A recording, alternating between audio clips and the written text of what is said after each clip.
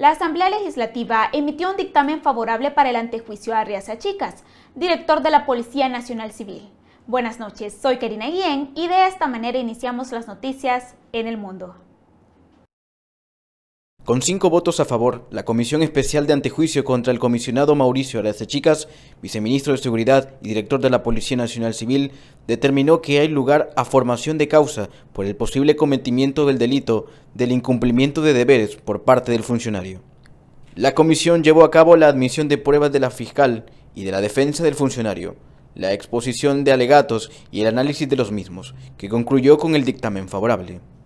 Por su parte, la defensa del viceministro y director se fundamentó de tratar de argumentar la ilegalidad del citario de apercibimiento por apremio al ministro de Hacienda. Arriaza manifestó que la orden de apremio era ilegal y que llevarla a cabo era trastocar el fuero constitucional del Ministerio de Hacienda. En este caso, el apercibimiento carece de formalidades legales y como careció de formalidades legales, se convirtió en una orden ilegal. La defensa, con sus tres versiones, irónicamente también contradictorias, lo que trata es de justificar de una y de otra manera la incomparecencia del ministro de Hacienda, pero sobre todo la no ejecución de la orden constitucional que tenía el director de la Policía Nacional Civil de traerlo tal y como él en una de sus notas reitera que es, una eh, que es un compromiso constitucional. Por otra parte, el presidente Nayib Bukele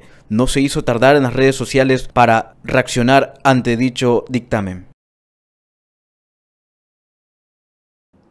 Y el alcalde de Ilopango, Adán Perdomo, recuperó su libertad y enfrentará el juicio solo cumpliendo medidas sustitutivas a la prisión. El juez de paz de Ilopango resolvió que Perdomo será procesado en libertad por el delito de peculado, pero cumpliendo medidas que consisten en presentarse cada ocho días a firmar al juzgado, no cambiarse de domicilio ni salir del país sin autorización judicial. Según la Fiscalía, el juez de paz de Ilopango argumentó que existen suficientes elementos para creer con posibilidad que el delito se ha cometido y que pasa a la etapa de investigación por el delito de peculado. Sin embargo, el abogado defensor Carlos Avelar afirmó lo contrario. Ahora, interpretando y analizando un poco cuál ha sido el fundamento de la Fiscalía, consideramos que ellos mismos nos han dado la pauta en el requerimiento, nos dieron la pauta también en la forma de exposición verbal como fundamento en el requerimiento, nos dan las bases para sostener que en efecto no estamos frente al delito de peculado, por lo tanto, en esta audiencia nosotros esperemos obtener la libertad del señor alcalde municipal Adán de Jesús Perdomo. Por su parte, Perdomo agradeció a los pobladores de Ilopango que le brindaron su apoyo. Gracias a todos los que están acá, nuestros líderes comunitarios, amigos, a los medios de prensa, gracias por su cobertura, gracias de todo corazón. Al pueblo de Lopango, voy a seguir luchando por ustedes un influyente senador de Estados Unidos reclama silencio de Trump a debilitamiento democrático en El Salvador.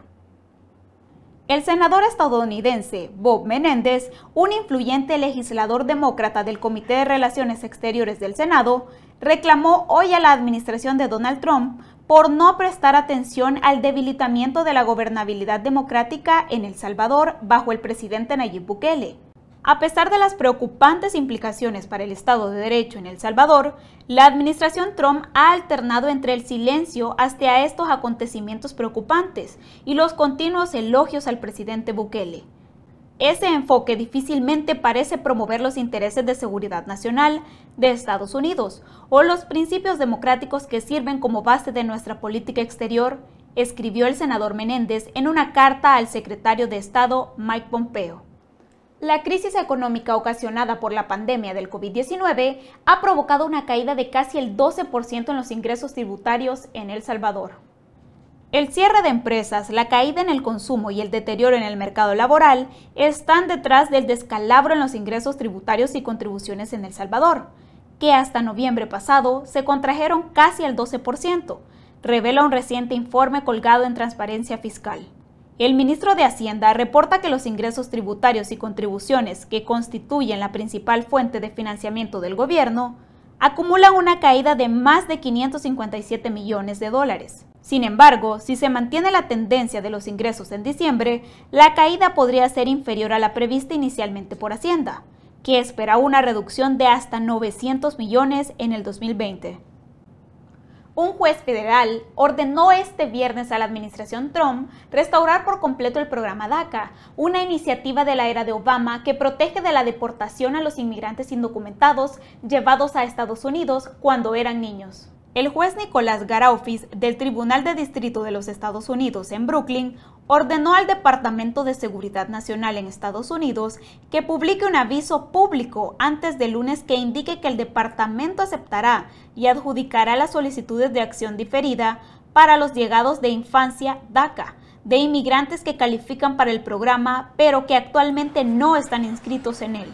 Garaufis también ordenó a los funcionarios que otorguen a los solicitantes permisos de trabajos aprobados que duren dos años, en lugar del periodo de un año propuesto por la administración Trump durante el verano.